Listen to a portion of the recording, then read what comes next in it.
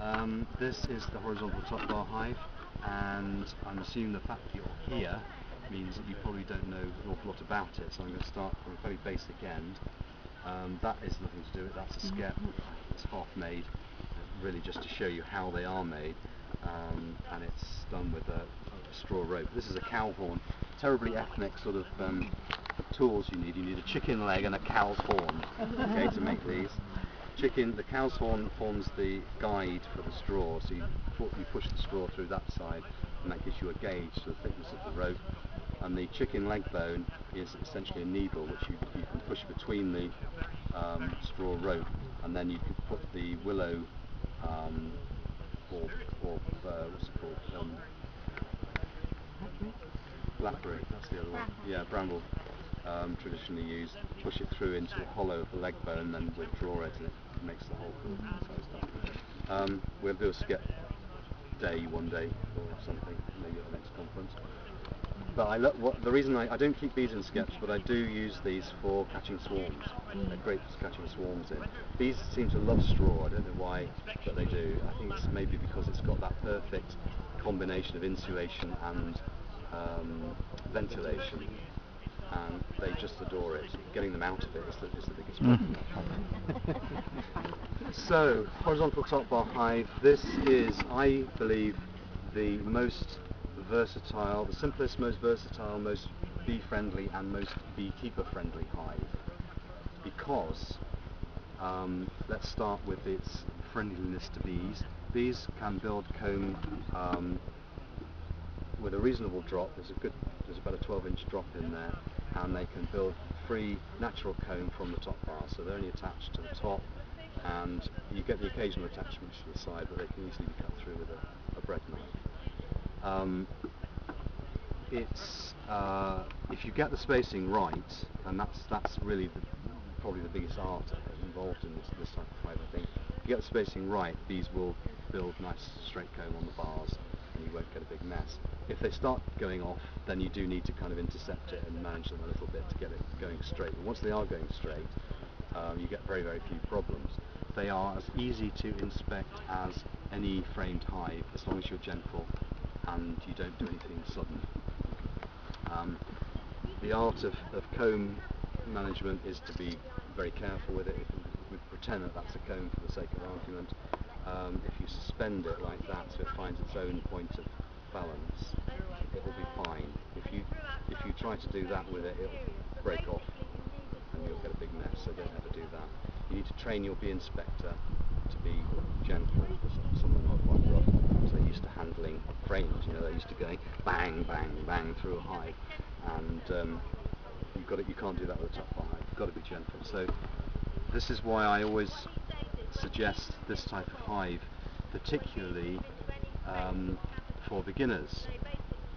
And a lot of a lot of old beekeepers will say, you know, top hives are all right, but don't, you know, they're not for beginners. They they take a lot of, they're not at all difficult to manage. And I think if you learn to handle comb and bees in one of these hives, it's the best possible training for any other type of hive because you have to be gentle with this hive. You can get away with being rough in a in a national hive or a Davies or a Langstroth, and you cannot get away with being rough in these. Got to be slow and gentle, and if you learn slow and gentle from day one your beekeeping, that's how you'll always handle bees.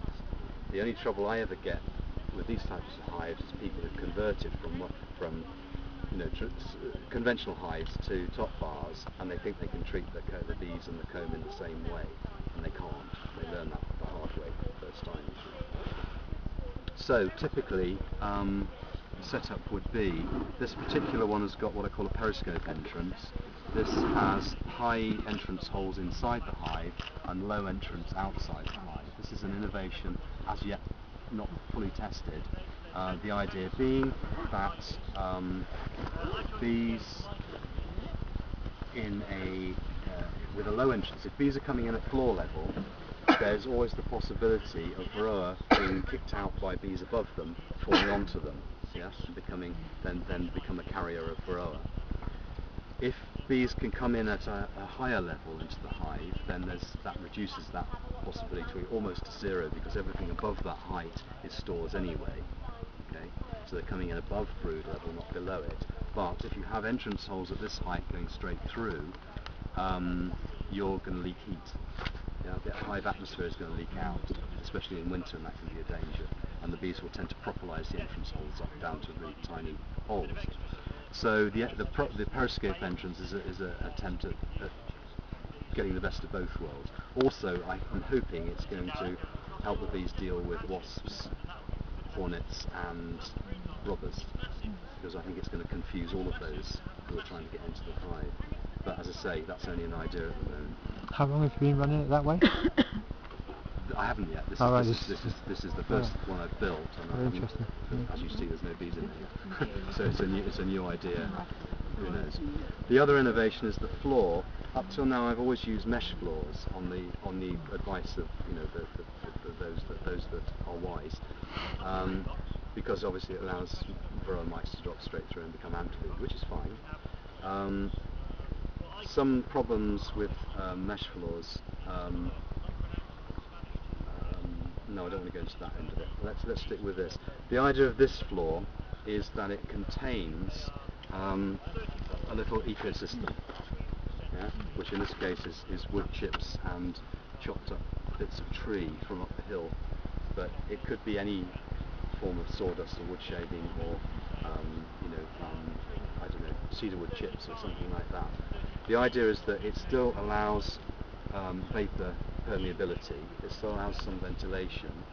And when mites fall onto it, they get eaten by earwigs, wood lice, and all the other things that I'm encouraging to live in there. So it's, a, it's an attempt to make the horizontal hive more like a hollow log, should say.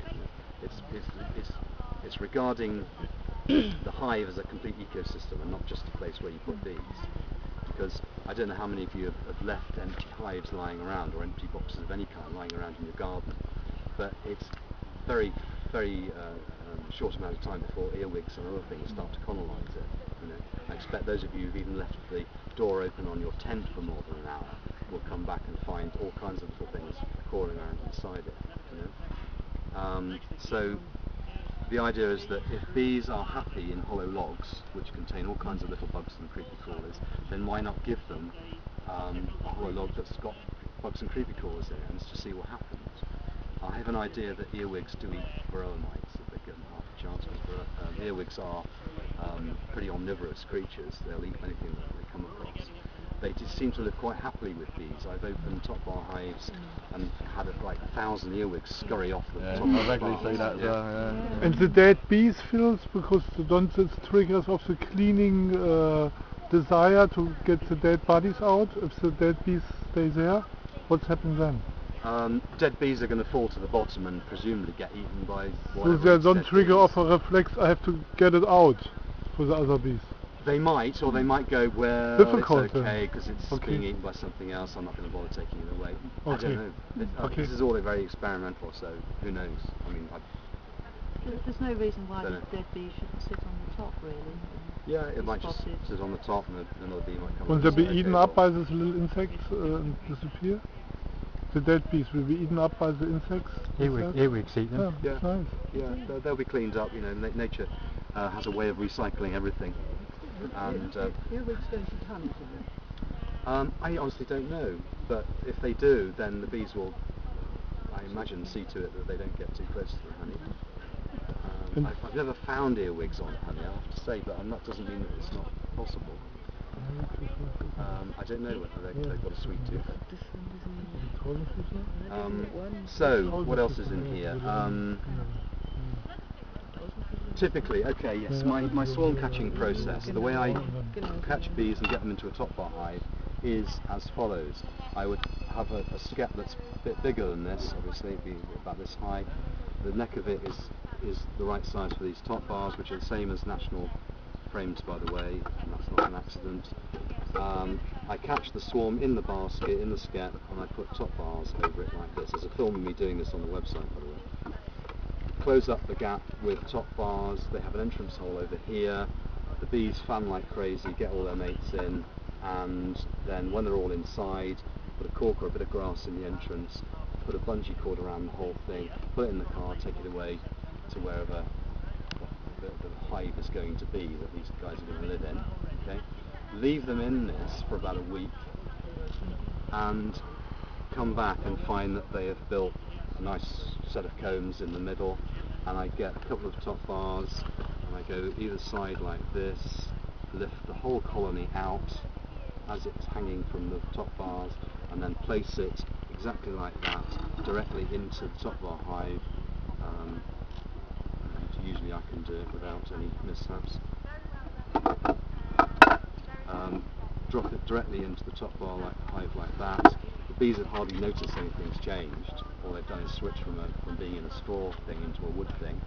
Because they've already built comb, because the queen's already laying, uh, they're not going to abscond. That's home as far as they're concerned. They haven't changed geographical position because the hive was, you know, the skep is exactly where the hive is going to be. And um, this is a very easy way of getting bees into a top bar hive, only disturbing them once where you actually catch them. After that, it's simply just a simple lift in. But the combs have to have the same size uh, in the in the skep than the in the top bar. You mustn't leave it in for too long. Uh-huh. okay? If you leave it in for up to a week, Yeah. then they'll have built comb like Oh, this. yeah. If you leave it two weeks, they they could be building, touching Yeah. the side. And like co- uh, Yeah. Attaching Attaching to the- attaching it to the side. Yeah. Yeah. Then you've got a problem because Yeah. you know you can Yeah. all think in jam. Yeah. That did happen to me. I left them for a whole winter in a basket once, Yeah. and I literally couldn't get them out without breaking Yeah. comb. When you So take a when you- cardboard carton, because some people collect this with an easy carton, with a box of paper, Yes. you know, cardboard so you can fold it yes. flat in the car. If you Yeah. see something, you bring it up. Yeah, yeah, absolutely. Yeah, I always carry one of these around the back of the car Ah, yeah. in, in spring. So when you say you leave it for a week, Yeah. is that with the um, bund in? No, we Oh, no, no, it would give them, they, they need to fly. Wat dat zegt, die komst bouwt. Yeah, clearly. Um, this is a very versatile hive. It's very beekeeper friendly because there are no extra boxes. There's nothing to lift. Uh, as long as you make your roof, I mean that's a flat roof. I generally use gabled roofs because I, know I can put a condenser box in there in the winter like a Warré. Um, or you can put sheep's wool or anything else in there as insulation if you choose to. Um, it's uh, very easy to build. There's no critical dimensions. As long as you build um, all your hives the same from the same pattern, then the comb will be interchangeable between them. Um, you don't have to worry about bee space. The bees deal with bee space. The only the only experimental bit really for, for some people is the width of the top bar. But as long as you keep, I tend to use 34 by 22 wood from B&Q because you can buy it cheaply, and that works perfectly well. Uh, I, I may start experimenting with narrower bars and shims. Did I talk about this in this session or not? Shims, okay. Um, this is something that some people use. They use a narrower bar and they put a shim in it to take it out to the full width. And then when they get to the honey area of the hive, um, they, they use a thicker shim of honey area because bees like to make fatter comb in the honey part of the hive. So you simply use a thicker wooden shim um, in that area. Or you start without a shim at all in the brood area and then add the shims for the honey area. There's all sorts of ways of doing it. Probably where I went wrong. So I've got 32 millimeter bars. Yeah. We did five, no, six, five, six. Yeah. And then once they got to eight, nine, ten, Right. 11, They're starting to feel I've got some impact. down to 31 mil bar. Yeah. You've got 31. Yeah, yeah. Right through. Makes it quite tidy because you don't get that fat bit of honey at the top that you get with the wider bars sometimes. So, yeah, Yeah. good piece. So, um, because I've done this three times, I've forgotten what I've said Yeah. to each group, so I, I kind of got, got a bit confused. Any, let, us go for questions. Any, any more questions? Perhaps about the queen exclusion. Oh yeah, yeah. I don't use these. This is this is. I simply put this in to show that if you want to use a queen excluder in a top bar hive, so you want just comb with nothing but honey in it, you can just make a vertical top uh, queen Is there any discourage do. It wouldn't stop because there's a gap at the bottom. Um, the queen is unlikely to, to crawl As I say, down and underneath and back up the other side, to be honest. Queens don't like crossing empty space or uninhabited areas. They like to stay you in the dark in, with their with their friends. So um, So it doesn't matter how you gap at the bottom, does it? I don't think it does really. No, I don't. I don't. I don't fuss too much about the gap at the bottom. If I'm, oh, something I meant to mention. On this side of the hive, there are five entrance holes, simply to show you that you can run five nukes side by side in a single box if you want to. So you can do splits within the same box, this is something I've, I've been doing quite a lot recently because I've got a couple of colonies that I wanted to propagate. Um, simply adding, simply putting um, follower boards in between each section. You can actually do splits horizontally within one hive, and the bees will, because they're used to using these entrance halls anyway, just randomly fly in and keep all of them fed. Yeah, they'll just fly in whatever entrance hole is, is happens to be open, and so no new But that, that gap at the bottom allows them to pass between chambers. Uh, it would if it was that big, yes, to be honest. And, and I think if I was running nukes side by side, I would probably want better sealed. Yeah. I probably, yeah, probably would want to keep them separate. Can I just say something? Because I've got one of these. I wasn't vigilant the beginning. The, the, the area inspector gave up. He foul. It's because it's, you know, it's, a bee haven in there with home everywhere. But I notice what's happening now. I also haven't been vigilant in keeping the sides free of wax because, um, or, or propolis, because um, if you have gaps, you can get um, wax in there. They sit in Yes. there. Well, y- yeah, they'll lay their eggs you in there, absolutely. yeah, Yeah. But that's a good point about problems. Um, another reason for using um, timber from B&Q is you, you can go in there and you can choose the straight ones. Yeah. if you get wonky top bars, that one is actually slightly wonky. Yeah. Um, it will create gaps, and uh, as Penny rightly says, um, gaps get populated by wax moth if you're not careful. And that's one of the reasons that these hives generally are much less prone to wax moth than conventional hives because there's nowhere for the wax moth to hide. Every space in there is accessible to bees, whereas on conventional frames, particularly the bottom bars, where the foundation goes into the bottom bars, it's a nice little, little gap in there. It's just a perfect spot for wax moth to lay their eggs um, and they love it, and the bees can't get in there to dig them out. So, but in a top bar hive, because you don't have any of that, there's nowhere for wax moth to hide, never had a wax moth problem. I've had wax moth try to get in, and, you know, but bees can deal with it because they can access every part of the hive. So, I I, I know you. Like, we, u- we usually need full warrants. I was how you using these before I'd even heard of Warrés. Yeah, I was wondering how you. Mm. I've, I've, I've got a couple of Warrés. I've got one, to be honest, no, I've got one Warré running at the moment. Personally, I haven't had a lot of success with Warrés. And I'm not saying that that's something that's wrong with Warrés. It's to do with the way I have been operating, I'm sure. But I, I have not had a lot of success with boxes yet. But I, I'm not going to give up on them. I'm, I'm going to persist. And I, you know, I hope to make them work one day. The, the problem I have is getting the bees to build more than one or two boxes. They seem to go, they seem to build a couple of boxes and then just give up swarm, or or just you know, have one swarm themselves completely out. You know, they just through swarm after swarm till there are no bees left. And the only way I found them to, well, not the only way, but I've got one colony that's in one box. It's been in that one box since uh, early last year and they seem quite happy in that one box and they will not move out of it. And I thought, come on, we've got to get these guys moving. So what I did was take out all the bars from the box underneath and now they're building long, nice long comb. But of course they're now building comb from one set of top bars but two boxes deep. So I've no idea what I'm going to do with them except leave them alone probably. Um, so did you have your one box in on top of another box that had top bar? yes, Yes. yes. The bees that I look after are happy enough.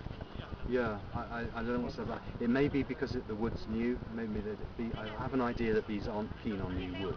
Actually, I think that, that might be part of the problem. I think they need to have enough bee numbers to actually make that jump and jump down That's into a new box. You know, Yeah, they need. A, they that's do. why he says a two kilo swarm really is ideal.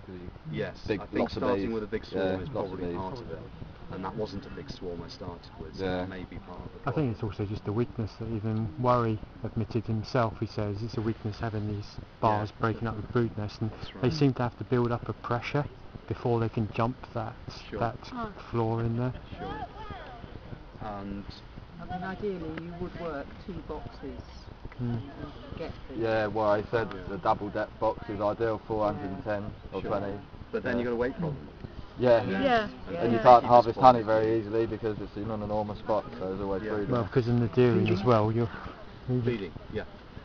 Presumably you, you don't take too much honey off, so they've got enough to last through the winter anyway. I always aim to leave honey, in plenty of honey for them through the winter. So I always make an estimation in early September.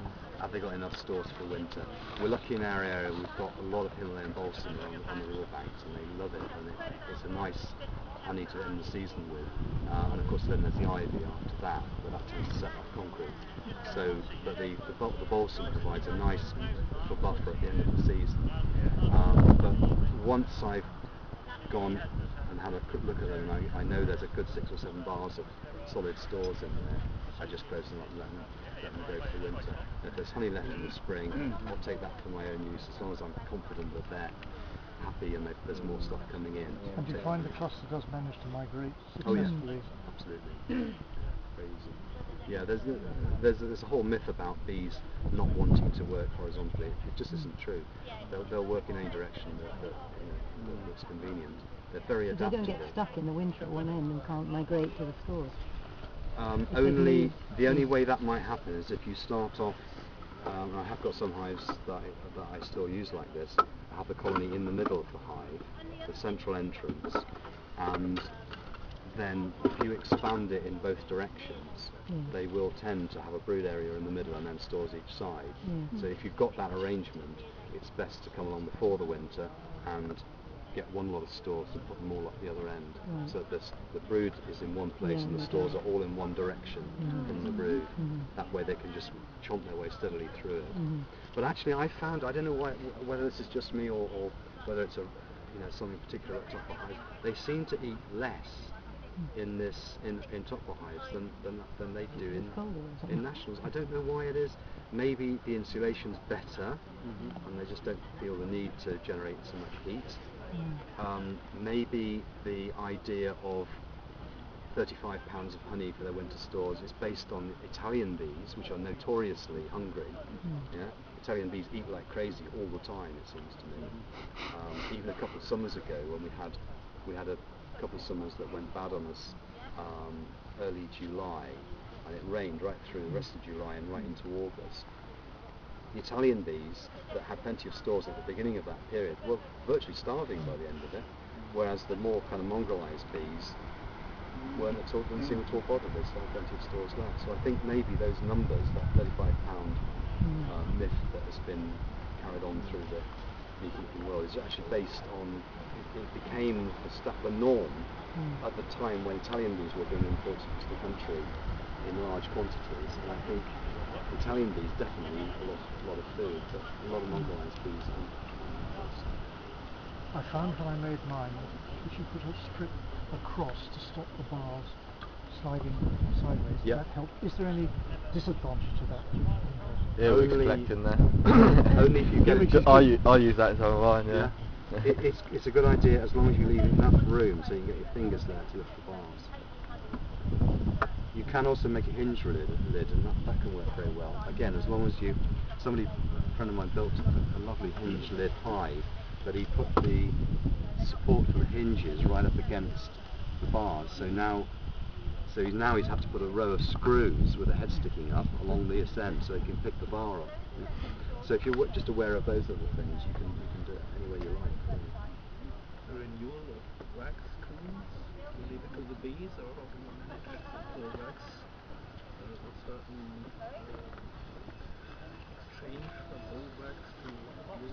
Sure. Yeah. Well, there's cer- partly there's a natural exchange because you're removing whole cones with, with, with honey, and of course it's the new ones that they're going to put honey into. So yes, that's a good question, and I do tend to keep old cone, move it up to one end.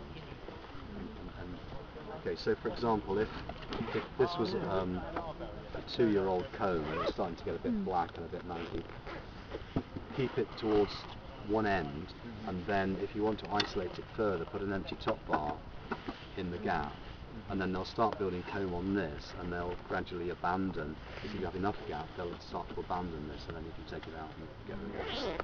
I've, I've for five years now made top bars uh, that have some confidence I can't manage to get them out because Uh-huh. you know it's, uh, it's always prudent there and it's, uh, it's really dark now. So but it, maybe Just I should do keep them right at, right at one end and put some extra empty top bars in because the queen doesn't like to cross empty space. Yes. So Yeah. you know, as long as she's, you know, make sure the queen isn't on the old Yeah. cone, Yeah. um, they will gradually abandon it. Sorry, I missed. What was that? Um, This, this is um, something I, sh- I shouldn't even have brought this because. Everybody's yeah, asking. yeah, yeah. This is well, everybody knows this is a queen excluder. Okay, I don't use them. I made it simply to prove the point that if you want to use a queen excluder in a horizontal hive, you can simply by cutting up a piece of excluder and mounting it vertically. So you can, if you want to, um, get comb that's pure honey and got no brood on it at all. But I don't use it. Yeah. Just I brought along a similar thing to show that I don't use either. if, if you want to inspect, um, you have to take the whole roof off. Um, Yeah. And and does that let them let all the heat out? No. The colony is always enclosed between two follower boards, yeah, two heavy follower boards, and the so this uh, this this becomes a, a, a- a sealed chamber, if you like. Yeah? Sorry, I should have said that first off, and thank you for bringing it up. Um, to perform a quick check, it's a very easy matter to move one follower board away, have a look, look, look in there. Oh yeah, they're building cone, they're doing exactly what they should be doing. Go the other end, move that away. Yeah, that's great, no problem. There you go. 10 second inspection, um, and along with information you get from looking at the entrance, then often that's all you need. do, do you always keep the hive full of top bars with no gaps to stop uh, rubbing and that, or?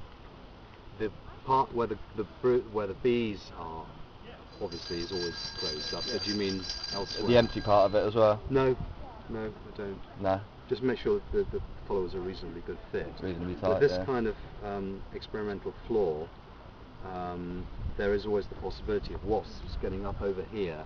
Yeah, because I always keep underneath. mine quite closed up with shims Yeah. and stuff to sort of stop that's probably anything. a good idea. Yeah. And what I might do with this type of floor is just take a handful of this stuff and just pull up the hole. Lock it up a bit, yeah. Something like that. Is this, this, is this a sort of more advanced prototype from the one that's on your website?